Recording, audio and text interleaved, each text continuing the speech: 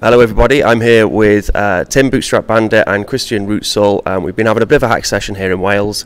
Um, we've been working on a couple of projects, uh, but there's some nice, interesting uh, news coming up, which is the Raspberry, Raspberry Blitz version 1.4 uh, is going to be coming out soon, in the next couple of weeks. So I wanted to catch Christian now while I can and just ask him what's um, what are some of the features we can expect in the new version of the Blitz. Um, and then I was also going to try and grab Tim as well, just ask about you know LNPay and all the great things he's doing with LNPay. So. Uh, so yeah, so Christian, what's going on with the Raspberry, uh, Raspberry Blitz 1.4 um, and what do we expect in the new update? Yeah, uh, of course you get the uh, new LND and the new uh, Bitcoin Core with it, so I think that's kind of standard. We'll, come with an update, but also kind of on the other apps you have on the Raspberry Blitz, like the RTL is a complete new redesign now in there uh, that will ship with the 1.4 version. Um, and there's um, maybe you saw it on the last version. We introduced very experimental touchscreen support, so we worked a little bit more on that. You will see uh, now a little bit more graphic designed uh, touchscreens with some some already with some functions uh, behind it, with a little bit more graphics. So we're experimenting with this. Uh, really liking your feedback on this. If this is the right direction, we want to build more for the next version of it. Um, and there is the um, there's an experimental ButterFS support. So just for, for you maybe for, to know on your hard drive that you have on the Raspberry Blitz, there is an ext4 uh, format running. Um, that's kind of standard for Linux, but um, there were Linux people were thinking, oh, what can we do better in the future? So there is this where ButterFS, it's called BTRFS. It's yeah, I've heard of ButterFS, yeah. but I don't even know what it is. What is it? Some some people say butter, some people say BetterFS. So I don't know. There's some at least some discussion about it. So what it brings in the end, it's like it's allowing you two interesting things. So the one is that it allows you very easily to make RAIDs, so you can combine uh, multiple kind of hard drives to one for better kind of uh, backup. So, so if one kind of fails, the other one can repair and, and that kind of setups.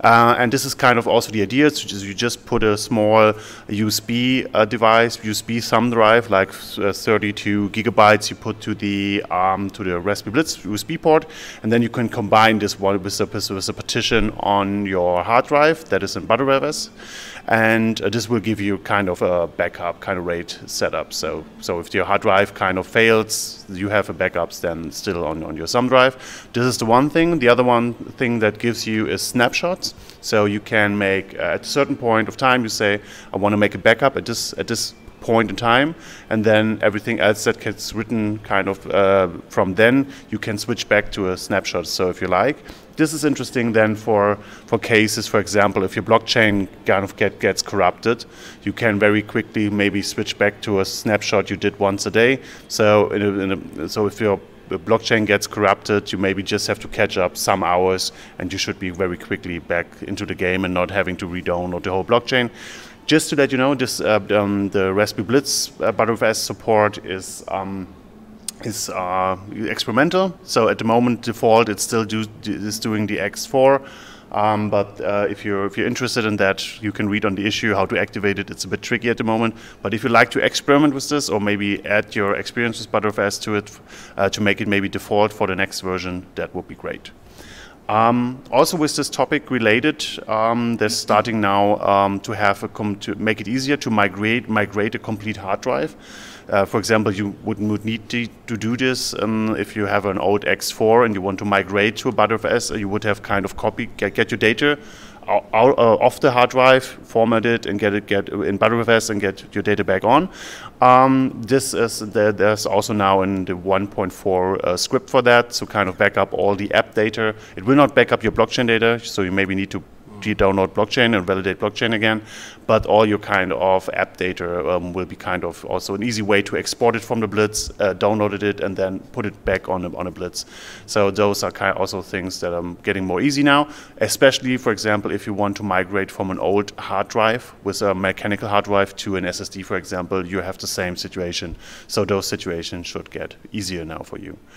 Um, yeah, that's kind of the, the stuff with the with the ButterFS. There's um, coming up more and more switching to Tor by default. So we kind of step by step iterating to make Tor more present. So now you have the Tor v3 addresses for a lot of stuff you run on your on your Raspberry Blitz, And this ties very nicely into the idea of having now more and more additional apps having on, on the Blitz. Because we now with the Raspberry Pi 4, we have a lot of new kind of power on the system. So um, this allows us allow, allows us now to run additional stuff on that. And like a BTC Pay server. Yeah, exactly. So you have an Electrum Rust server, so you can can completely run uh, your Electrum server on your Raspberry Blitz and share it with friends or family. Um, so this is a good way, for example, so to connect your Trezor for, uh, uh, to, so you don't have to go anymore to a Trezor website and give them and, and kind of leak data to, to out what kind of wallets you for, have. For development as well, if you're building some sort of wallet service, to have an Electrum server there which you can sort of tap into is useful. Yeah, yeah. So there comes a lot of benefits with that. So and it does it doesn't need some time when you activate the feature feature under services on the new Raspberry Blitz 1.4. It takes some time to build an index thingy, but once it's ready, um, then you, you, then it's running there and it's for your use. So that's served over Tor. Uh, you can choose. So if you have, if you have Tor activated, it's, uh, you can reach it over a Tor address too. Um, if you don't have Tor activated, uh, it's always reachable on a, on a local IP. And of course, if you make those uh, ports open on your router, um, then you can have it like, or even from the outside if you want to have it in, in that kind of way. Um, yeah, next besides, uh, let me take a look. We have the BTC Pay server also now as an as an extra app you can install. Uh, that one at the moment is also is also reachable from Tor, so you can reach it over Tor what we didn't decided to do in this version is that it gives you kind of a big setup with a do domain or whatever, because we want to maybe make this for the next uh, next version. But it's already there. You can install the complete BTC Pay server, have it running with on the Raspberry Blitz, and experiment with it. So if you ever wanted to take a look at that, it's now able to possible then with the new version to activate it and, and play with it and see how you can make use of it. And by activate, I mean it's, it's just you just click a couple of buttons and then you can spin up a. BTC Pay. Yeah. Because I know you've done a lot of work on on the install scripts. Yeah, there's, just kind of automated into install scripts. Which is great. I mean, that's going to get BTC Pay Server into many more people's hands, I think, because it's, you know, sometimes installing some of these things can be a little bit beyond some people, you know. Yeah, to make to make experiences. So in the end, to in the in the if you know the SSH menu you have, uh, there is a services section, and it's now longer more and more longer list. So so it would, um, it would, be sort of like the menu we can see here now. Where we got the um, uh, uh, yeah, that, that one down there. That one, one down, down there. Yeah, yeah, that's the short one from the old version. Still, yeah, yeah, next day. So you select the service and then run the service, and it right installs and, and everything. Right, and this is the, also the way how you activate the touch screen. It's not default by the moment, but it's all those features. It's more. It's the idea of when you start up the Raspberry Blitz, it, sh it should just deliver you a very plain, a reduced setup. And so it's, yeah, with minimal attack vectors. Um, and then you have the possibilities to activate more and more services, and those service list is growing at the moment kind, kind of rapidly. Um, just to wrap up, what, what else do we have at, at extra services? Um, new RTL. New RTL is on Gorgeous. there. Yeah, with the redesign. Um, but we went to the we went, we're advancing Bitcoin, and you ran a workshop, and I have my Blitz 1.3 and then you had with the workshop you had 1.4 installed on the other blitzes and you were showing the new RTL you'd, your tutorial was being your workshop was through the new RTL and I felt like such a plea with my old RTL like the, the is so much nicer now it's lovely. Yeah it, it's coming nicely now so um, yeah we use this for workshop. This is a good uh, this is a good place RTL is a good place if you really want to learn a little bit about node management. Not everybody likes to do it over uh, command line or something so the, the, the web GUI is really good place to start and gives you a good overview um, but this was already already in there in the old version, so this comes now with a new redesign.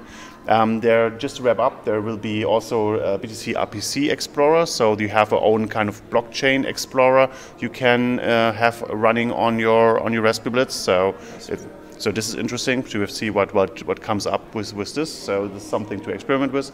There is this loop services um, that for loop out, for example.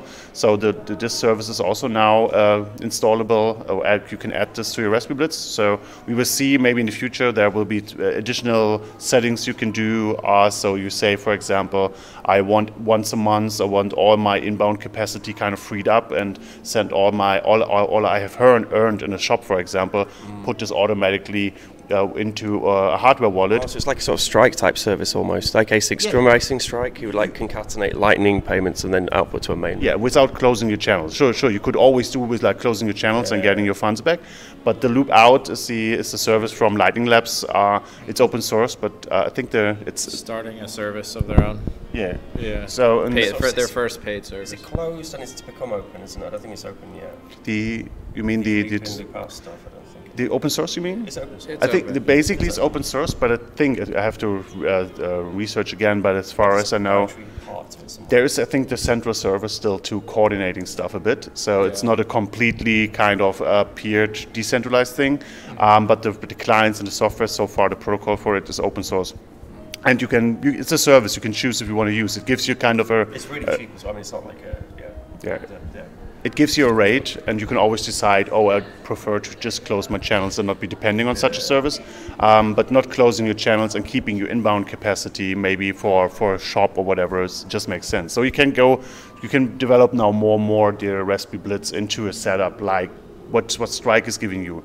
Um, so this is something for the Room 77 we're, we're aiming at to have in. So you so you you are a shop. You once you then you uh, have inbound capacity once established, and then you get your little satoshi step by step, filling up a bit your inbound capacity. And the, once this is uh, enough for an on-chain kind of valid transaction, like once a month, for example, it automatically then just transferred it to an uh, Bitcoin address uh, into your hardware wallet. It's great for onboarding. Yeah.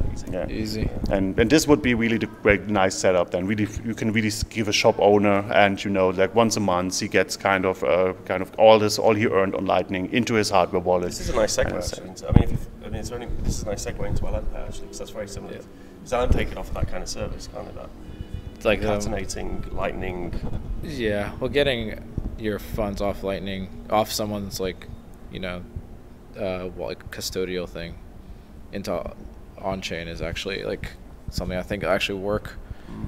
Um, and it's a way that people can't like you can actually like force like send it to them, whereas Lightning you have to you can't just send it to them, so they can keep it. You know. Oh, I see what you mean. Yeah, so you can actually, as a if you have like, if you're running like an LNPay type service, then you, Yeah. you're like, what, you've got enough funds on here, it's scaring me. Can you please get them off? Yeah, you can't send. to I mean, I guess you could use key send now, kind of, but Yeah. like that's not nobody really does that. account. Sort of LND specific, isn't it? Yeah, that too. Um, but I've been working on uh, building out what I'm calling outsourced custodial wallets. Won't be custodial forever, but just outsource wallet infrastructure to help uh, small lap developers bootstrap their apps um, and use uh, uh, like M5 stack sats that Ben's working on in the quickening. Uh, kind of plug into like use I mean, POS terminals and stuff. the, probably the easiest like way to quickly make a, a Lightning wallet and then have API keys and then like send and receive and money and um, and then you've also got a bunch of other functionality built in like LNURL, um, um, so you can use it for like things like ATMs and things. Uh, so no, it's it's, it's, by, it's the easiest sort of service I've found, and also like the it's it's the uptime's brilliant on it. You know, that's been working on providing it as a service. It's in the cloud, right? It's kind of still hosted by a third party, but that's kind of the the point for people who don't want to uh, manage their own infrastructure. Yeah for dev stuff. It's brilliant. Like if you don't, if you want to start Yeah. building something, you have an idea, but then you're like, oh, Yeah, and I've been working obviously, on. we want to all work towards having our own nodes. It's very important, but it's also quite nice to be able to just go and plug into something. Yeah, and not eventually, funds and well. eventually, people I think will be able to have their own nodes, and once the non-custodial, maybe macaroon stuff gets a little bit more advanced and easier to do, you know, eventually you'll be able to switch that, and it won't be custodial anymore, but it'll be semi-custodial maybe, or Yeah, you know, the macaroons will be right. Yeah, to where like you know the the LNPay layer is kind of like middleware, and your funds are kind of still on your own. Uh, but yeah, I've been working on just building out tools for developers like logging and webhooks and stuff. So. It's pretty cool as well because so because we've been working for the past three days, mostly on the the quickening, uh, merging the M5 stack um, and the quickening projects together. So it's just like one code base you can put on your device, select your payment uh, funding source, select the hardware you're using. It's easy to sort of set up. So we've been working on that, uh, but but because we've been working on that, I've kind of seen Tim also working on MPay. and it's very much like just catering for you know developers. They have an idea, they want to build something. He's like, okay, cool, let, let me try and help you make that thing. Um, so uh, it's an, I think it's a really nice approach to kind of just in, encourage and work with the developers. You know? I think it's a good segue into LN Bits as like a more self-hosted option for kind of like some of the same functionality, and kind of what we were building on with the the extensions and using it for uh, POS terminals and stuff. Yeah, I mean LN Bits is, is kind of similar to LN Pay, um, but it's um, it's like uh, I mean LN Pay eventually will be um, free and open source. That's the plan. That's the plan. Um, uh, so you'll be able to run it yourself, and um, it should be really easy to work. So run it because it just run on Apache, I guess, or yeah, it's PHP code base. Uh, so it's not. I mean.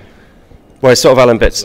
Yeah, LN Bits is kind of like um, uh, it's, it's, if you again if you want to start playing with your your you know your your LND node and you don't want to expose all your funds. So like I have my ATM, but I don't want to expose my ATM to my admin macaroon. I can use LN bits on top of uh, LN, LND and uh, just expose a certain amount of funds for the ATM to be able to withdraw from. Um, so again, it's kind of like maybe not aiming so much at the develop. I'm trying to. I mean, obviously, I built all the things which are built into LN Bits, and all the things we, we've been working on LN Bits uh, are, are, are, the frustrations we've had with our like our own experiences dealing with like you know uh, lightning payment services where we want some functionality and then which is why I think your approach is brilliant because like you you know you, you bug someone for functionality and then you know if, if they don't implement it you end up going off and implementing it yourself um, uh, so yeah, so it, so it is with kind of developers in mind, but it's not like uh, we're not actively developing for developers now. We're kind of actively just developing for, our, I suppose, our own stuff, like you know the hardware and all that sort of stuff. So and like stuff I'm interested in, like I want to play around with LNURL withdrawals, so I'm, I'm making an extension so I can do LNURL withdrawals and LN bits and. Um, talk about on the Blitz? On the Blitz. Oh, yeah, oh, yeah, sorry. Yeah, yeah. just one. one yeah, no problem. I just want to let, want to get, get let, you, let you close there. Uh, yeah, no, there's one good thing is now what we did over the days is like I was uh, building an install script for the LN Bits. So, so in the end, it gives you an extra website you can host on your on your on your Blitz, and it gives you kind of sub accounts and insta wallets you can you can set up uh, very quickly. So that's what would very nicely been used for if you if you for example one account use uh, you put it out an ATM. This is one account. You have a POS system uh, at your store. That would be a one account, or you can really use it. What that's what I'm looking for, like the LNURL support, uh, that you really print out a lot of little faucets uh, that are hosted on your Raspberry Blitz at home, and you just drop them in the mailboxes of your neighbors to have an easy way to get them started. Because in this, there's an Insta wallet in there, so they have some satoshis to play. If they really take care about, they can transfer it in their own custody. custody. Um, and they, I really like the idea of putting it maybe in the future date in there. If you don't care about the satoshis in the next kind of 40 days, they're, they're back at they're back to back back at my end. So yeah, I like the LNURL stuff because it is like the, the you can obviously run a, do LNURL things on your own, running your own server. But this the LN bits thing, mate, I just actually make it really easy to kind of make your own LNURLs. The only problem is like it's not because of the onion, the .onion, HTTPS stuff. It's still it's still a hack. Yeah, well, what we found out is, is again that we we would need. It seems like that the to have LN LNURL working, uh, so you need HTTPS and a lot of wallets. That would be possible. You can serve HTTPS on a on a Raspberry Blitz, but normally with a self-signed certificate. And uh, it seems like we have to research a bit more, but it seems like that some some wallets like uh, wallet of Satoshi, etc., um, demand uh, a kind of valid certificate outside uh, certificate, not a self-signed certificate.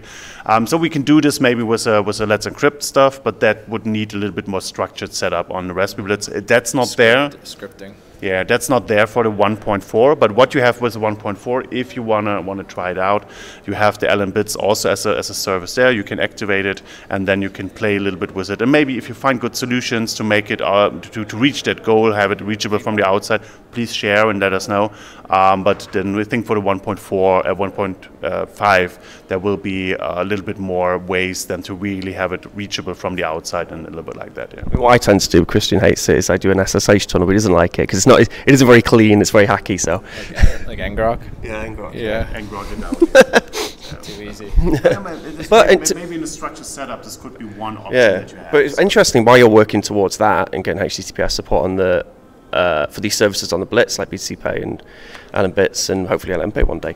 Um, uh, I went on the LNURL, one of the Telegram groups for the LNURL the people who are working on LNURL, and um, they were saying about .onion and how they want it working. It should there should be an exception for .onion because Yeah. it's encrypted. So why Well, not? you have to have, this means like that every wallet has to be a way has has to have Oh, a way to, to, to, to work with with, with Tor network.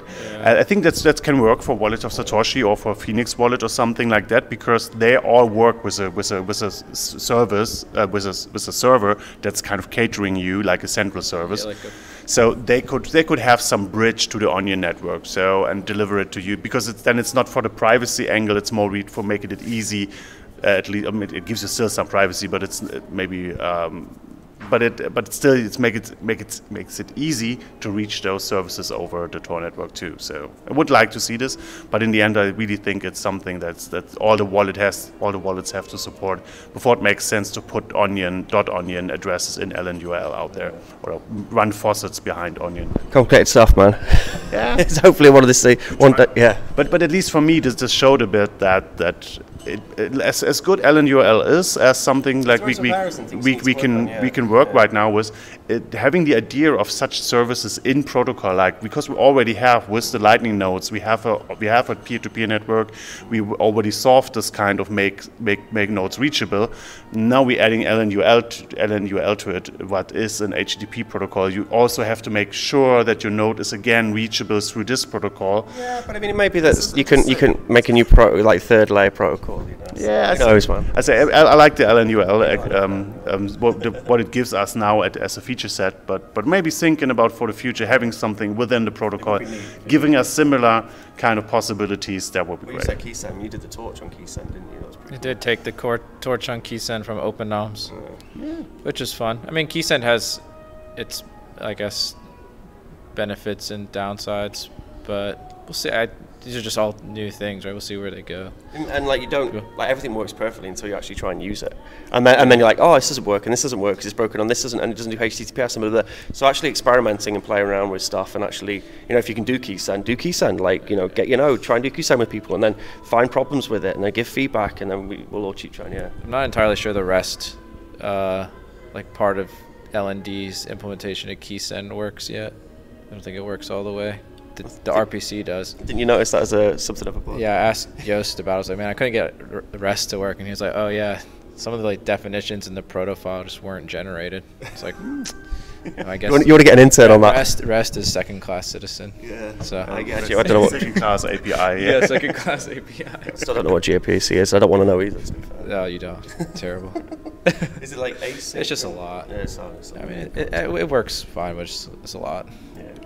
Yeah. I think most developers were used to REST, aren't we? You know, like Yeah. web type people. Especially coming from like PHP land. It's all, it's all the rests. Yeah. yeah, it's the hacker language, isn't it? Build, Yeah. build stuff out quick. Sinclair Fawcett PHP. It's lovely. It was a dream to go back to PHP. I loved it. P- P- Python, that was with LN Bits, that's hard because it's all the indentation stuff. It scares me. Get used to it. Yeah. Although it all has its place, doesn't it? Right. So I think that's is that is that is that pretty much that's all of it, isn't it? I mean, thanks Yeah. both. Thank you very much to, to both of these guys for coming down and working on the M5 stack and the quickening project and merge them into one yeah, code that was base. the takeaway. I think was trying to consolidate the POS terminals that you've Yeah. been working on Yeah. into one Yeah, just software to code make, to make the problem a bit clearer. So if you Ben Ben Ben was building a lot of POS um, systems like the yeah. based on the M5 stack that which is this gray box based on on just on an ESP32 basic chip like with some um, something connected to it. That's the quickening, and tho- those and a lot of other peoples were building like so that it works with OpenNode, that it works with with with LND, so that it works. But it's all were kind of just copied code base and just people changed Well, that was me copying the code base. But other I mean, peop- a other people- someone did BTC BTC Pay server. That was cool. Yeah, other someone people were doing this it. too. Yeah. So Tim um, Tim gave me LNPay, like a really nice, Yeah. and that was the basis for it. and think that's good for in the beginning to just fast prototype, but now came the time to really bring it To a together. nightmare, a nightmare, because you have like you have like ten different folders with ten different projects in, Yeah, and then you it's a mess. find one improvement. Yeah, that's the thing. new You find sure. you find you find one little. Oh, it's oh, they got the logo on there as well. sure. Nice quickening logo. Oh, yes, camera's and they're all the way over here. Um, uh, Wi-Fi not connected, so there was some feedback too. Yeah. Yeah. We could fire up a hotspot or something, but And, and, and really, Could division reconfigure division is now really to have one code base. So you flash the device with one code base. Maybe you have before you flash it, you have maybe uncomment uh, or comment some if you use different hardware. Yeah. Uh, but for the for, for the node providing services, for the payment service, you're connecting to LND, uh, OpenNode, etc. Um, this should be something that you can in the future do really Through the Wi-Fi. in with the config. Yeah. Yeah, that'd be so cool. so we really Without having to Well, like, reflash well, it like an time. example is like, oh, what's his name on Twitter? Oh, I'm sorry, man. I, I want to give you a shout out, but I can't remember your name on Twitter. I'm sorry. You've all got silly names on Twitter. Um, there was a guy. The guy did the BTC Pay thing because because to cancel a tra- uh, transaction, you Yeah. press that button, and Yeah. then to send the transaction, you press that button. Yeah. And I kept thinking I needed like a little red cross and a green tick on the actual buttons, but the guy just wrote like cancel and O- over proceed, and I, above the button, and I was like, oh. yeah, but but that was just then one in It this was in one, one version. little folder. ver- ver- Yeah, it was in that version and not in the other versions. exactly. So the idea is now exactly to to bring such. So if somebody uh, um, enhances something, it will be available also for the other for the other kind of implementations. It's. And and also the setup then is possible. Like the idea was really that uh, you flash your your device with the correct hardware settings, and then you just turn it on, and it opens up so a Wi-Fi spot, a hotspot, and then you just, it says like here log in into this SSID, this password, or something like that, and you log into it, and then you get uh, get on the on your browser, either on your mobile or on your laptop, a browser, you get your setups. That's stuff. the next step, isn't it? We're almost there as well. We're not far. We need, we need another two days. Oh yeah, we, yeah, no, there's uh, almost two weeks there. so. So I mean, if you so you won't, in fact, you won't be able to find the branch of what we've been doing now, but like in a few weeks, it should be more apparent, like that the two code bases, are, all the two projects have merged into one, Yeah. and everything's so much cleaner. So, So- watch out for that. There'll be two, two projects. One will redirect to the other. I don't know if I figured out which oh, Yeah, one. we don't lose GitHub stars. We'll get it working, no problem. Yeah. Yeah, but thanks a lot for that. It was amazing. Um, uh, but yeah, I think that's probably pretty much it. That was, um, until next time, these these two guys are going to go fly out now from Bristol Airport. Big shout out to the to the uh, Cardiff uh, Wales Bitcoin meetup. Oh, yeah. So yeah, we went there, that was it cool. nice to hang Yeah, out with some was with the local people. So really, we, we were up against it at the moment because BSV have realised. So Cardiff, Wales, we have like the biggest UK meetup, Bitcoin meetup, and um, the BSV lot have tried to clone our flipping meetup. I haven't seen one. Yeah, so well, whatever, you know. But I mean, like, it's it's it's we just need more because we we're all volunteers, obviously. Um, uh, so uh, so for the for the Welsh meetup, yeah, it was quite funny actually because we went we, we, we sort of like uh, gate crashed the BSV meetup, and I was very calm and collected, and like well, not us, like me, um, and another guy from the the Bitcoin Cardiff meetup, and I was quite calm, and I was just kind of keeping them, you know, keeping them in check in case they made any sort of lies against Bitcoin. And at one point, my mate stood up and he's like, "All of you, you're paid to be here. Come to our meetup. None of us are being paid to be here." I was like, "Dude, chill, chill, chill, chill." So, so that was pretty fun, but it's true. So whatever. Um, uh, but yeah, so so yeah, so we need all the support we can get. So if you're in the UK and Cardiff's not too far, then look on the Meetup page um, and then come to the Cardiff uh, uh, uh, Bitcoin Wales. Let's Google Bitcoin Wales, you'll find us. And it just says BS Bitcoin BSV Wales. Don't go to that one.